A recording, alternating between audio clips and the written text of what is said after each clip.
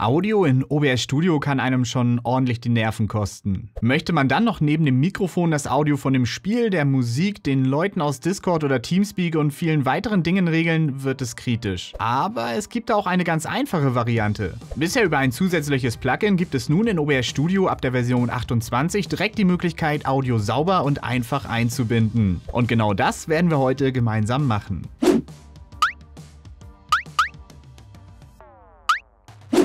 Ganz wichtig, vorweg sage ich gleich, dieses Video ist für alle gedacht, die OBS Studio ab der Version 28 nutzen.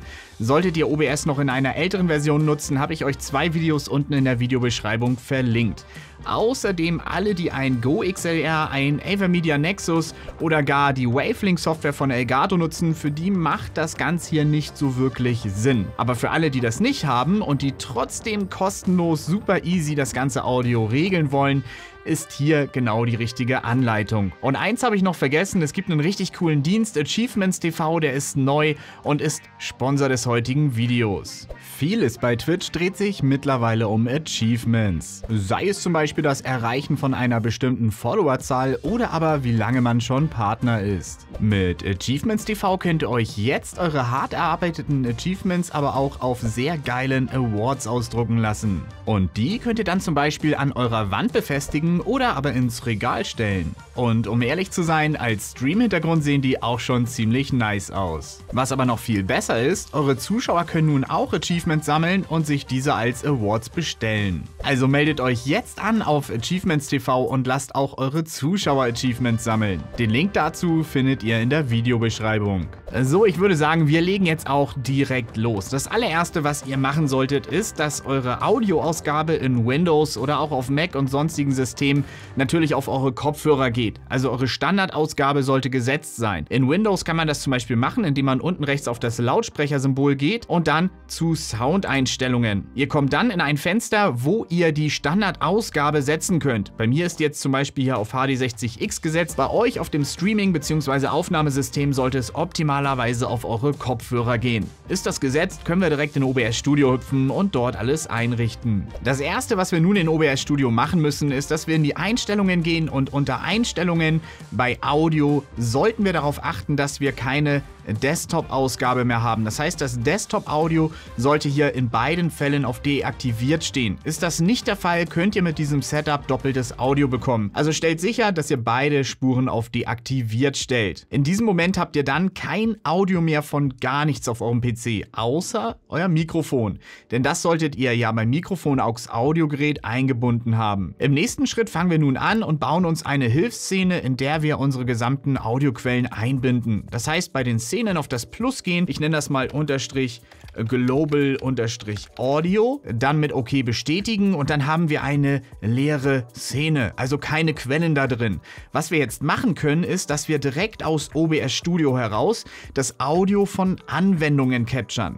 Fangen wir mal mit verschiedenen Anwendungstypen an. Das einfachste wäre ja ein Spiel, was ihr gestartet habt. Beispielhaft habe ich hier nun einmal das Game Apex Legends geöffnet und im Fenstermodus, damit wir natürlich auch sehen, was wir hier machen. Um nun das Audio eines Spiels einzubinden, geht man einfach, wenn das Spiel geöffnet ist, unten zu den Quellen auf das Plus, wählt dann Anwendungsaudioaufnahme Beta aus. Wir nennen das dann mal Apex Legends, klicken auf OK. Es wird dann automatisch ein neues Fenster geöffnet und hier könnt ihr nun alle geöffneten Fenster auswählen. Unter anderem, wenn ich jetzt draufklicke, finde ich hier auch Apex Legends. Wähle ich das Ganze aus und klicke auf OK, habe ich automatisch eine neue Audiospur, die sich Apex Legends nennt. Wenn ich nun ins Game reingehe, und das ist eine Sache, die immer wieder gefragt wird, wenn ihr raustappt aus dem Spiel, dann kommt auch kein Audio an. Sobald ihr aber in das Spiel reingeht, seht ihr, dass automatisch hier der Audioausschlag kommt. Das heißt, wenn ich hier irgendwas mache, also hier rüber hover, kommt das Audio von Apex Legends an. So einfach könnt ihr für eure Spiele das Audio in eine eigene Spur in OBS einbinden, die ihr getrennt regeln könnt in der Lautstärke. Jetzt gibt es aber eine wichtige Sache, auf die ich hinweisen muss. Wenn ihr ein Spiel spielt, wie zum Beispiel Valorant oder Call of Duty, dann gibt es dort ja auch Ingame Voice Chat. Und dieser Ingame Voice Chat, der kann über ein eigenes Audiogerät ausgegeben werden. Was bedeutet, dass wenn ihr hier diese Möglichkeit nutzt mit dem Capturen des Audios, dass ihr nur das Game-Audio bekommt, aber nicht das Audio des Ingame Voice Chats.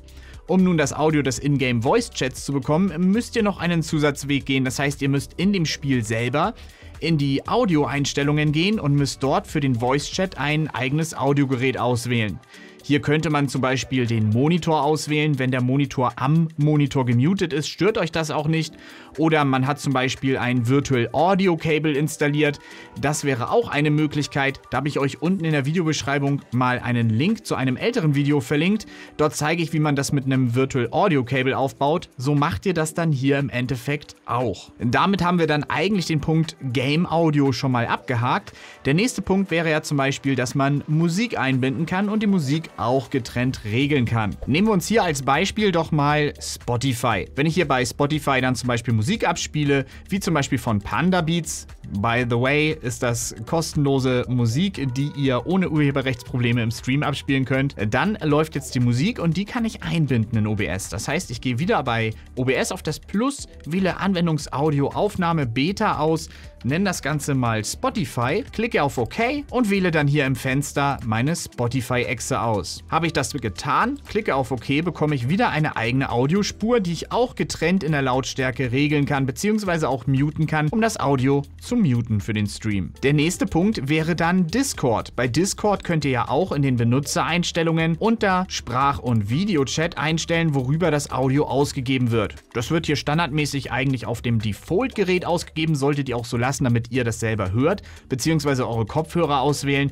Wenn ihr aber das Audio nun einbinden wollt, wir haben ja Desktop-Audio rausgenommen, müsst ihr von Discord das Audio auch capturen. Das heißt, ihr geht dann wieder auf das Plus, macht wieder eine Anwendungsaudioaufnahme Beta, das nennen wir jetzt mal Discord, klicken auf OK und wählen hier als Fenster dann Discord aus.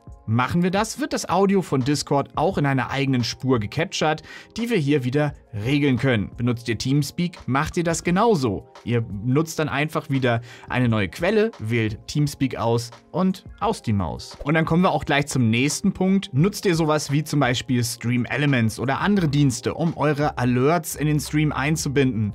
Habt ihr ja nun nicht mehr die Möglichkeit, dass die Alerts direkt übertragen werden, beziehungsweise ihr sie monitoren oder regeln könnt. Wie schafft ihr das, dass ihr eure Alerts auch über eine eigene Spur regeln könnt.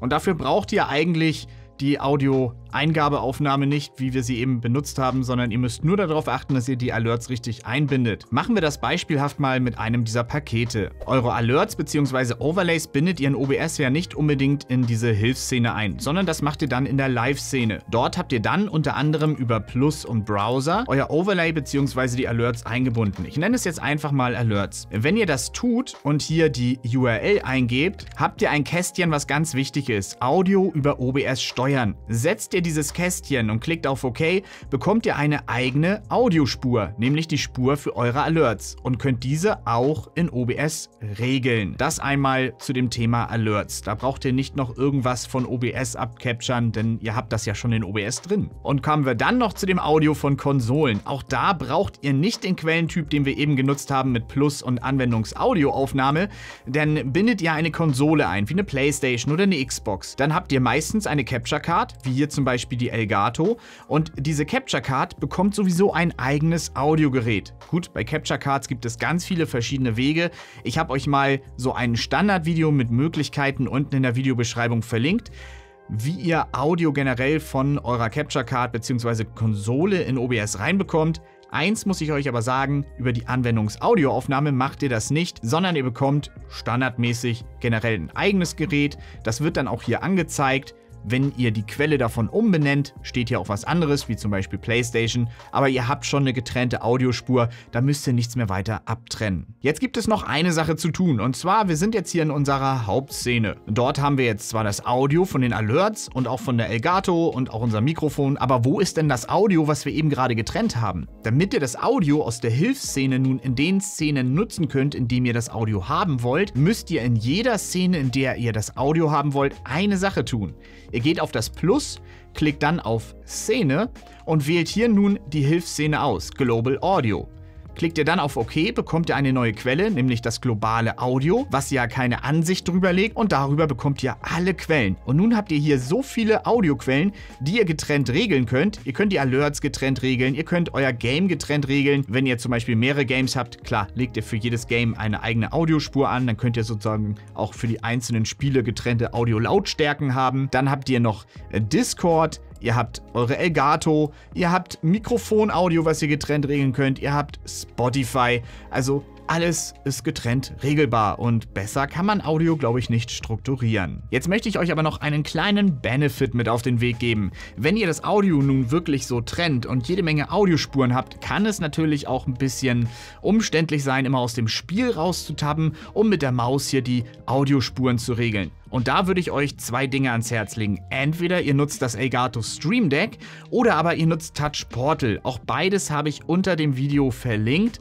Beides sind Tools, worüber ihr mit einem kleinen Tool oder einem kleinen Gerät, bei Elgato dem Stream Deck, neben eurem PC das Audio regeln könnt und andere Dinge oder bei Touch Portal über euer Smartphone. Schauen wir uns das beispielhaft mal bei dem Elgato Stream Deck an. Hier könnte ich nämlich theoretisch folgendes tun. Ich könnte auf die einzelnen Audiospuren zugreifen, um diese zu muten oder zu entmuten. So könnte ich mir eine Taste hier hinlegen, mit der ich dann zum Beispiel meine Alerts mute, Mute Alerts, dann zum Beispiel noch eine weitere Taste, wo womit ich mir meine Musik mute. Da wähle ich dann die Quelle für die Musik aus, Spotify. Also habe ich die Möglichkeit, Tasten zu vergeben, um mein Audio ohne aus dem Spiel rauszutappen auch regeln zu können. Bei Touch Portal habt ihr sogar noch einen weiteren Zusatz. Ihr könnt nämlich Slider vergeben und mit diesen Slidern könnt ihr sogar die Lautstärke der einzelnen Quellen einstellen. Also das nochmal als kleiner Zusatz. Wenn ihr jetzt noch mehr mit eurem Audio machen wollt in OBS, kann ich euch auf jeden Fall einmal diese Playlist empfehlen. Dort zeige ich euch, wie ihr mit dem Elgato Wave XLR bzw. Elgato Mikrofonen und der dazugehörigen Wavelink Software auch professionell euer Audio routen, steuern und filtern könnt. Ich würde sagen, wir sehen uns dann im nächsten Video. Ciao, ciao.